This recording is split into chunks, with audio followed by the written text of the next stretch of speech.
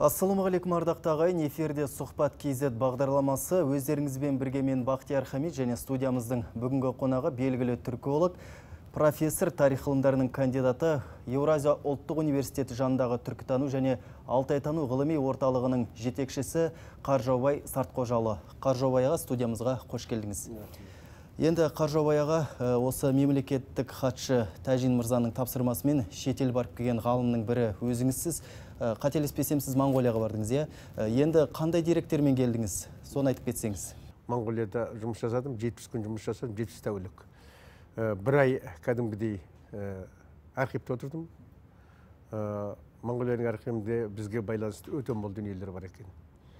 Ең көнесі 1756 жылы жаңағы жоңғарлардың қазаққа қарсы соғыстарының бірінде мына артқы моңғол дейміз моңғолдарды біз ішекке білеміз ғой ішкі моңғол артқы моңғол деп сол кездегі сол артқы моңғолдың үлкен бір дивизиясын жоңғарларға көмекке жіберіпті моңғолдар моңғолдар көмекке жіберіп абылай ханды енді басу және абылай ханға қарсы үлкен шабуыл жасаған соған байланысты материалдар алып кеттік алып келдік енді бұл материал бұдан бұрын еш жерде шықпаған мына архивте моңғолияның архивінде сақталған осыны біз алдық міне осы жазуда жазылған. Қазір енді мынау сол орта ғасырлық және соңғы он сегізінші он жетінші он сегізінші ғасырдағы диалектикасымен жазылған жазу. Бұны енді көбі көп адамдар оқи бермейді. Енді біздің қазақтардан көп адам оқи бермейді моңғолдардан қазір көп адамдар бұны оқиды енді.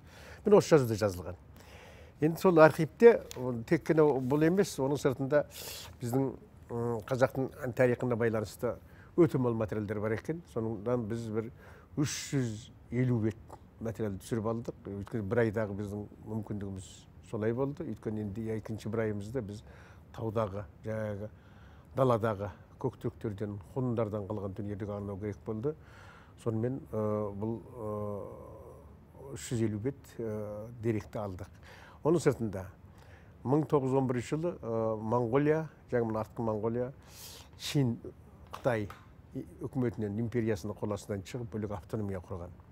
Сол кезден бастап жаңағы осы күнгі моңғол жеріндегі қазақтар моңғолдың қол астына кіргу туралы арызы өтініштері сосын моңғолдың жаңағы боғда хан үкіметінің шығарған жарлықтары бар екен. Осыларды алып келдік. Бұның барлығы енді бұдан бұрын бізге белгісіз осындай дүниелер болатын. Енді сол кездегі жаңағы қазақтардың лидерлері жаңағы көсемдер тайпа көсемдері ақсақалдар деген сияқты осындай үлкен үлкен адамдардың байланысты деректер келді. Жаңа сұхбатқа дайындық барысында бір қазақ заңы деген ерекше еңбек жайында бір деректер табылды дедіңіз.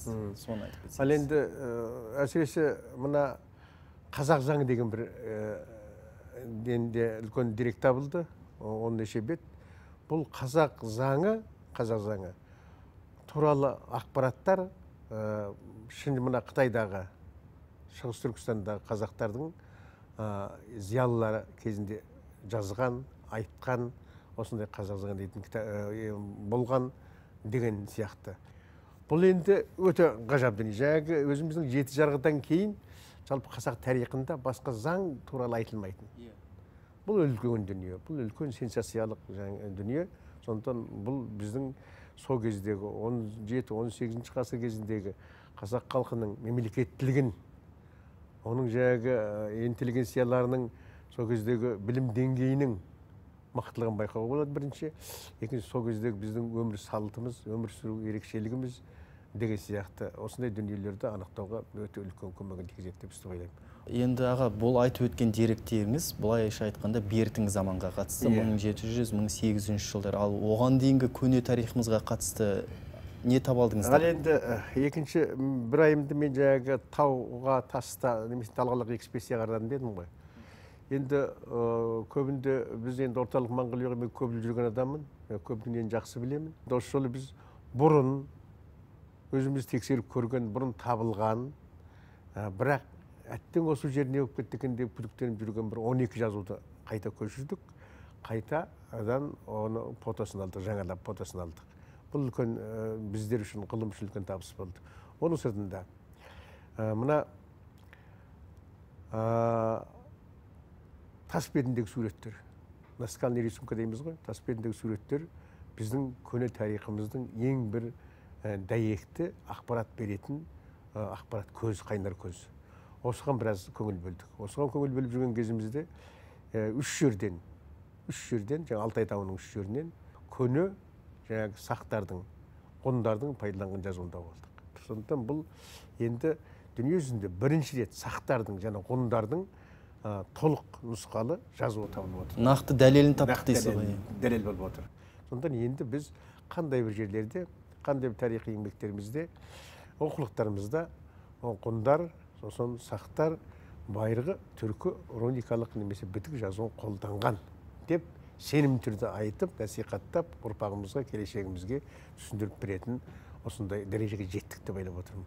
Енді бәрін түсіре беру мүмкін емес. Yeah. Бәрін түсіру мүмкін емес. Сондықтан ішінен таңдап ә, біразын сол кезде халықтардың дүние танымын сол кезде халықтардың енді өнер шеберлігін сызу өнерінің ә, эстетикалық ерекшелігін сосын кейін шаруашылықты қалай басқарғаны туралы ә, сол кездегі сол анау алтай тауында қандай аңдар болғаны қандай мына бұлар қандай шаруашылық шаруашылықтың қандай түрімен айналысқандығын бәрін ақпарат беретін біраз суреттер түсірдік. Мыңға жоқ сурет түсірдік біз. Мысалы міне мына суретті көрсеңіз міне түйемен кетіп бара жатыр. Түйемен кетіп бара жатып соғысып бара жатыр мысалы міне садағын ат деген сияқты міне көре беріңіз.